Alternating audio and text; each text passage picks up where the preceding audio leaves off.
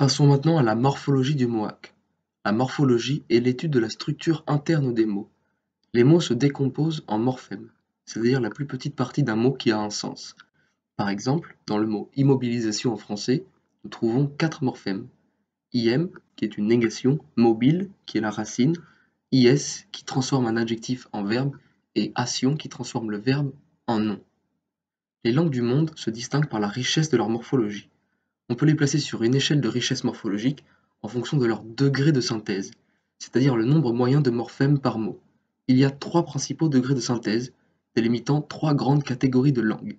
Les langues analytiques sont extrêmement pauvres morphologiquement, avec un degré de synthèse d'environ un morphème par mot, ce qui équivaut à dire que tous les mots sont invariables. C'est par exemple le cas du chinois mandarin ou du chinois cantonais. Les langues synthétiques ont un degré de synthèse moyen, avec environ deux ou trois morphèmes par mot. En font notamment partie les langues romanes comme le français, l'espagnol et l'italien. Enfin, les langues polysynthétiques ont un degré de synthèse très haut, avec environ 4 morphèmes par mot, et certains mots en ayant beaucoup plus. C'est le cas des langues iroquoises et donc du mohawk. Cela signifie qu'on trouve en mohawk des mots très longs, correspondant à une phrase entière en français. En d'autres termes, beaucoup de choses exprimées en français par des mots indépendants sont exprimées en mohawk en ajoutant des suffixes et des préfixes à une racine. Par exemple, le mot par exemple, est un seul mot et signifie je lui rachèterai des livres. Un autre phénomène contribuant à cette richesse morphologique est l'incorporation nominale. L'objet direct, au lieu d'être exprimé par un nom indépendant, d'être incorporé dans le verbe. J'achèterai pour elle des livres en trois mots. Après l'incorporation nominale, devient en un seul mot, je rachèterai pour elle des livres. Ces processus morphologiques sont hautement productifs c'est-à-dire souvent utilisé et notamment avec de nouveaux mots, ce qui fait apparaître le mohawk comme une langue très détaillée et descriptive à nos yeux. En effet, pour exprimer un nouveau concept, les locuteurs vont utiliser la riche morphologie de leur langue pour le décrire en détail, plutôt que d'emprunter un mot étranger. Par exemple, la salle de bain est littéralement l'endroit où on se lave habituellement. Par ailleurs, des mots beaucoup plus anciens exprimant des concepts d'origine indigène et non étrangère sont aussi formés de cette façon. Par exemple, je veux un objet matériel se dit ce qui veut dire littéralement je veux que la terre me fournisse un objet matériel. De même, je vais aux toilettes se dit je vais me cacher. Ces expressions hautement idiomatiques sont très intéressantes puisque par définition, elles nous informent sur la manière qu'avaient les Mohawks de voir le monde et d'exprimer leurs pensées d'une façon appropriée à leur culture. En effet, la façon idiomatique de dire je veux nous apprend qu'ils considéraient probablement la terre comme la source première de leur possession matérielle. En ce qui concerne l'autre mot, je vous laisse deviner. Ce genre d'expression idiomatique très figurative a contribué à l'image des langues amérindiennes comme étant très métaphorique. Néanmoins, il est important de préciser que ces processus ne sont pas nécessairement conscients. Souvent, sans une introspection linguistique volontaire, les locuteurs n'ont pas conscience de dire littéralement je veux que la terre me un objet matériel, mais disent simplement je veux un objet matériel en utilisant une expression complexe qui a été lexicalisée. C'est-à-dire que sa structure interne originelle a perdu de sa transparence initiale dans l'esprit des locuteurs. La majorité des mots mohawk restent quand même plus courts, mais la langue n'en est pas moins extrêmement riche morphologiquement. Presque tous les mots peuvent être décomposés en morphèmes dont on connaît le sens par ailleurs, ce qui permet sans cesse d'éclairer le sens d'un mot d'une autre manière ou d'établir des liens entre des mots qui n'ont apparemment rien en commun quand on les traduit en français ou dans d'autres langues européennes.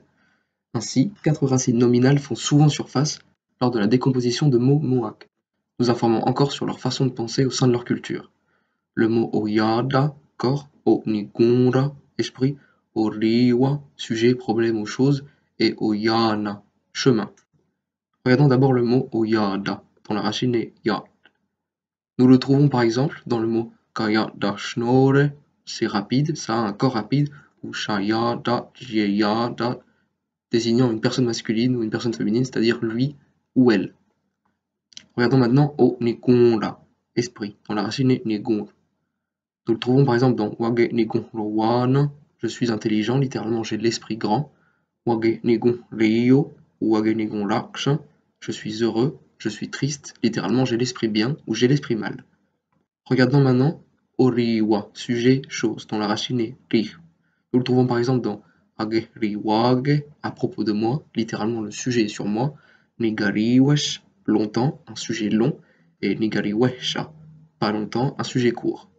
Enfin, examinons oyana, chemin dans la racine yan. Yoyanere, c'est bien, signifie littéralement il y a un chemin. Royaner, signifie chef masculin, chef féminin, mais littéralement il a un chemin, elle a un chemin. Plus techniquement, voyons comment sont constitués les noms en mohawk. Les noms comportent au moins trois morphèmes. Le premier morphème détermine le genre du nom, et il est souvent traduit par cela. Le genre est ici compris non pas comme féminin et masculin, mais comme n'importe quel principe de catégorisation des noms dans une langue. En mohawk, nous avons trois genres. Les noms en haut désignent des entités naturelles qui ont été créées par le créateur et dont l'essence ne peut pas être modifiée par l'homme. Ils comprennent la plupart des noms d'animaux et de végétaux, mais aussi des concepts plus abstraits comme Oriwa que nous venons de voir. Les mots en A désignent des objets créés par l'homme pour son usage direct, tels que les vêtements et les outils. Les mots en Ga désignent des constructions à plus grande échelle de l'homme, utilisées collectivement plutôt qu'individuellement, tels que les bâtiments et les moyens de transport. Cette catégorisation témoigne de l'importance culturelle attribuée à la nature et à la place de l'homme dans celle-ci. L'homme n'est pas en dehors de la nature pouvant la transformer à son gré, il fait au contraire partie des cycles naturels dont il peut emprunter la matière pour subvenir à ce besoin. Le mot pour être humain est d'ailleurs un mot en o ou. Le deuxième morphème est la racine qui confère son sens primaire au mot. C'est cette partie du nom qui est insérée dans le verbe lors d'incorporation nominale et à laquelle on ajoute différents préfixes et suffixes. Enfin, la terminaison sert simplement à indiquer le statut nominal du mot. Regardons par exemple le mot ganonsha, composé de trois morphèmes, ga, le genre ga, nush, qui est la racine pour maison, et a, qui est la terminaison nominale. D'autres morphèmes peuvent être ajoutés, les plus courants étant des préfixes possessifs et des suffixes adjectivaux ou locatifs. Par exemple, au mot ganonsha, nous pouvons rajouter un préfixe possessif pour donner janonsha, ta maison, un suffixe adjectival pour donner ganon shiyo, une belle maison, et un suffixe locatif pour donner ganon shagon, dans la maison. Enfin, regardons de plus près la structure des verbes. Comme les noms, ils contiennent au moins trois morphèmes. Nous avons en premier un préfixe pronominal. Il y a trois différents paradigmes ou catégories de pronoms. Les pronoms subjectifs désignent la relation entre une personne et un objet ou un animal. Les pronoms objectifs désignent la relation inverse entre un objet ou un animal et une personne. Et enfin, les pronoms transitionnels désignent la relation entre deux personnes ou groupes de personnes. Les pronoms subjectifs et objectifs sont aussi distingués par une notion de contrôle.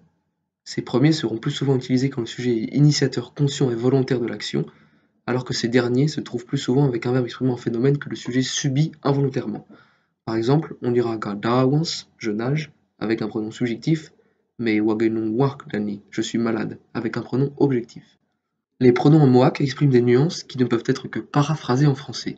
Il y a par exemple un nombre duel, comme dans Geni L2 aime cela, et l'existence d'une distinction inclusif-exclusif pour les pronoms pluriels de la première personne. En d'autres termes, il y a deux termes pour nous. Dewa signifie moi et vous, ce qui inclut l'interlocuteur, et Yargwa signifie moi et eux, qui exclut l'interlocuteur. Le deuxième morphème est encore la racine, qui reste le porteur du sens premier du verbe. Il y a cinq différents types de racines en fonction de leur première lettre. Une consonne, A, I, E ou un, et O ou on, qui prendront différentes formes d'un même pronom. La terminaison indique l'aspect du verbe. Ici, la terminaison S exprime l'aspect habituel.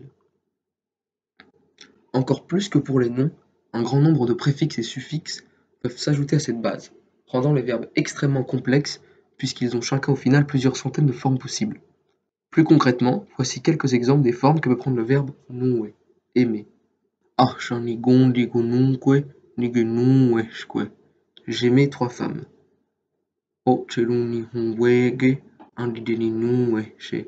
Toi et moi aimerons la France.